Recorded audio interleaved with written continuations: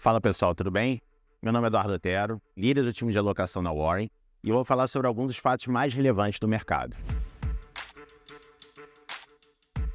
Na última sexta-feira, dia 18, o Ibovespa interrompeu a sequência de 13 quedas diárias consecutivas. Mas o que vem impressionando o mercado de bolsa local? É um comportamento exclusivo do Brasil?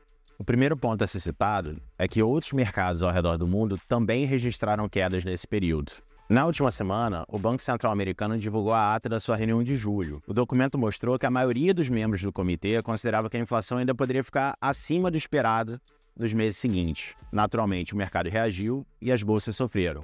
Só para você ter ideia, há pouco o juro de 10 anos dos Estados Unidos alcançou o maior nível em quase 16 anos. Na China, a semana trouxe mais dados econômicos abaixo do esperado. O setor imobiliário do país voltou a ganhar destaque nos noticiários. A Evergrande, segunda maior incorporadora chinesa, entrou com um pedido de falência nos Estados Unidos. O Banco Central Chinês, inclusive, anunciou hoje a manutenção das taxas de juros que servem de referência para o setor imobiliário e isso acabou frustrando um pouco parte do mercado. Sempre bom lembrar que nos nossos portfólios nós seguimos com uma exposição inferior à estrutural em bolsas internacionais. E sempre que necessário, o time de alocação fará as mudanças táticas nas suas carteiras. E se você tiver qualquer dúvida, por favor, não deixe de conversar com o seu especialista.